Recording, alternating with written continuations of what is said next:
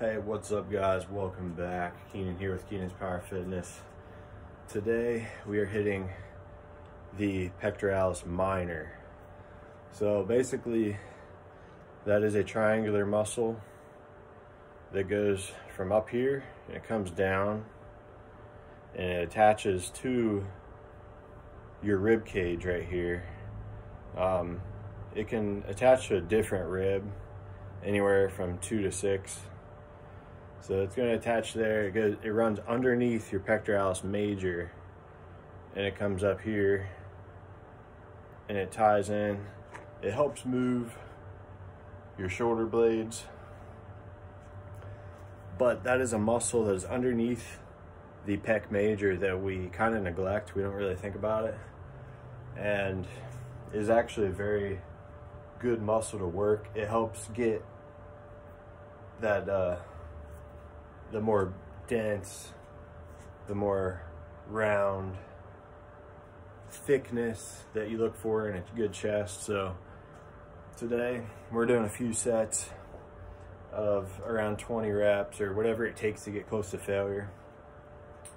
So what we're doing is it's kind of like a dip, but instead of instead of doing a traditional dip like this, we're actually going to keep our elbows locked in the same position. So about like this. And all we're gonna do is let our shoulders move. So we're keeping our elbows locked. And we're just letting our body come down and then back up.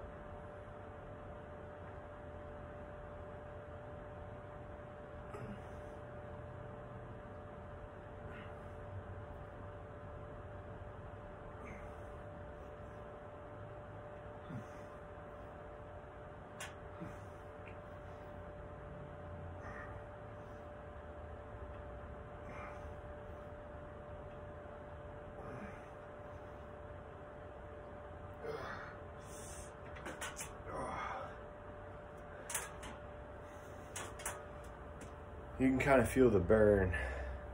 Like it's a it's a strange type of feeling because you don't get that really when you bench I mean you do other traditional chest workouts. So give this a try guys. Pectoralis minor. It's gonna help you get a little bit of a bigger chest. Really good for a side chest. It's gonna give you a nice little pump that you're not used to if you haven't been doing pectoralis minor workouts. So thanks for watching. Hopefully this helps you out a little bit, helps you build some bigger, thicker pecs. And if you are not yet subscribed, hit that subscribe button right now so you don't miss any more of my videos. Hit the bell icon so that you'll get a notification every time I post. And if this video gives you some good information, if you like the video, don't forget to give it a thumbs up as well. So that's it for this one, guys. Thanks for watching.